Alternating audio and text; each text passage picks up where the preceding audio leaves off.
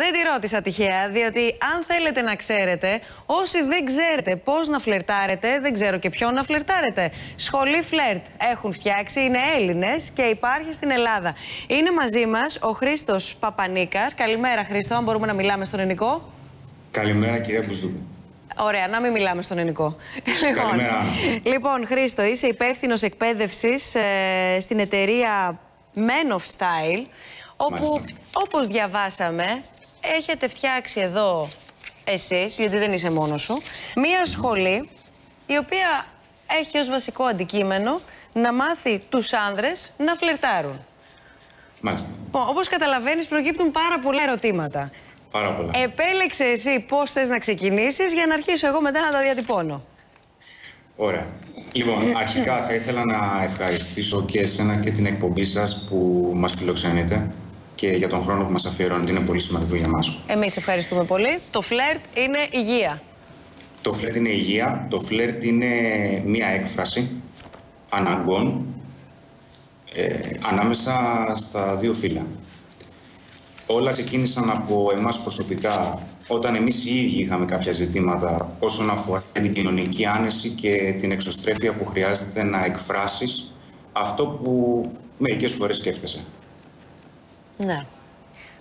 Τώρα, μου το λες λίγο επιστημονικά.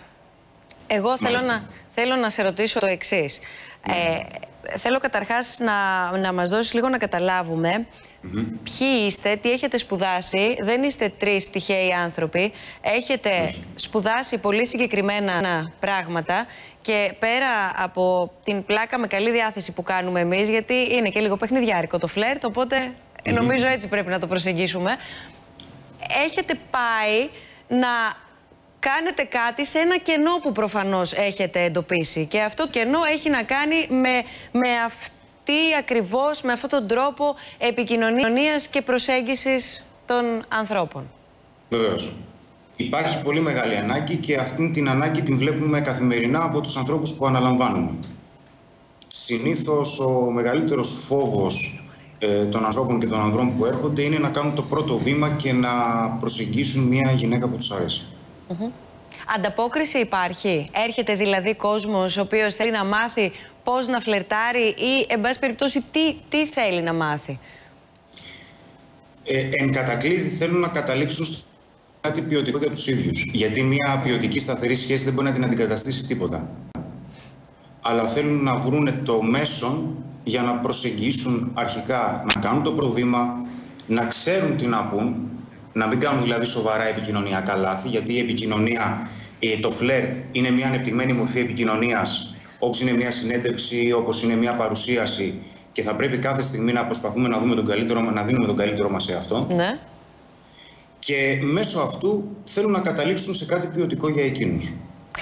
Γιατί επικεντρώνεστε στους άντρες; Οι γυναίκες δηλαδή απαγορεύεται να φλερτάρουν. Βεβαίως και μπορούν να φλερτάρουν για όνομα. Εννοείται, το, το φλερτ μπορούν είναι να κάνουν το, Μπορούν να κάνουν, να το, το, το πάγιο ερώτημα, μπορούν να κάνουν το πρώτο βήμα ή θα πρέπει παραδοσιακά να το κάνει ο άνδρας το πρώτο βήμα; Ο άνδρας Αν μιλάμε για ετερόφιλα ζευγάρια, έτσι. Ναι, βέβαια. Ο άντρα θα χρειαστεί να αναλάβει μια ηγετική θέση σε αυτό. Διότι. Είστε παραδοσιακοί στη σχολή. ναι, αστείευομαι, Χρήστο. Βέβαια, το καταλαβαίνω απόλυτα. Το καταλαβαίνω απόλυτα. Αλλά η γυναίκα δύσκολα να προσεγγίσει. Δηλαδή να διανύσει μια απόσταση και να πει στον άντρα ότι ξέρεις, ήθελα να σε γνωρίσω. Ε, δεν συμβαίνει. Αυτή είναι η αλήθεια. Και από εκεί και πέρα ο άντρας ναι. ε, θα χρειαστεί να δείξει και ο ίδιος κατά πόσο είναι διατεθειμένος να διεκδικήσει αυτό που θέλει, να διεκδικήσει μια γυναίκα που του αρέσει είναι ένα ηγετικό χαρακτηριστικό το οποίο είναι απαραίτητο. Αποφασιστικότητα. Τι ηλικίες κατά κύριο λόγο έρχονται στη σχολή και ζητούν να μάθουν έτσι περισσότερα πράγματα για το φλερτ. Και οι πιο συνηθισμένες ηλικίες είναι περίπου 20 με 35. Mm. Πρέπει να είναι απαραίτητα κλεισμένα 18 κάποιος, εννοείται. Αλλά οι πιο συνηθισμένες ηλικίες είναι αυτές που σου είπα. Τώρα από εκεί πέρα έρχονται και άνθρωποι μεγαλύτεροι, έτσι. Ε, μου κάνει εντύπωση διότι αυτές οι ηλικίες είναι και οι πιο εξοικειωμένες με τα social media, με την τεχνολογία. Εν πάση περιπτώσει, εκεί υπάρχει. Ξέρω εγώ, οι ειδικοί λένε ότι παραυπάρχει λίγο επικοινωνία εκεί, με την έννοια του ότι είναι όλα στη φόρα, πού είμαι, ποιος είμαι, α, ε, απελευθερωμένα, δίνω στοιχεία αβέρτα, Ναι. γνωρίζω κόσμο, αλλά, Ναι. αλλά κάτι λείπει τελικά. Στα μέσα κοινωνικής δικτύωσης έχουμε τη δυνατότητα να προβάλλουμε ό,τι θέλουμε. Όταν έρχεται η ώρα όμως να έρθουμε πρόσωπο με πρόσωπο με κάποιον, Σωστό τότε αυτό που φανερώνονται όχι μόνο τα δυνατά μας σημεία, αλλά, Αλλά και τα αυτά δύναμα. Που προσπαθούμε, α- αυτά που προσπαθούμε να κρύψουμε γιατί Έτσι είναι. θεωρούμε αδυναμίες. Μάλιστα. Οπότε το face to face είναι εντελώς διαφορετικό. Κάμια γυναίκα δεν έχει απευθυνθεί σε εσάς. Και όμως υπάρχουν Α, είδες που υπάρχουν. γυναίκες που παίρνουν τηλέφωνο, αλλά αυτή τη στιγμή Δέχεστε μόνο αναλαμβάνουμε άντρες. άντρες γιατί γνωρίζουμε και προσωπικά το κομμάτι, έχουμε προσπαθήσει, έχουμε εξελιχθεί και εμείς σε αυτό. Οπότε μπορούμε όχι μόνο γνω, από γνώση, αλλά Όταν και από λες, προσωπική έχετε, εμπειρία. όταν λες έχετε εξελιχθεί και με όλο το θάρρος, έχετε και οι Παρακαλώ. τρεις σχέση; Ναι.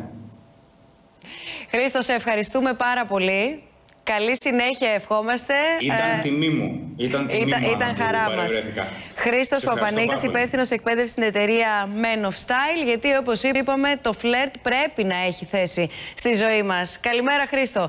Για να υπενθυμίσουμε το διαγωνισμό μας που τρέχει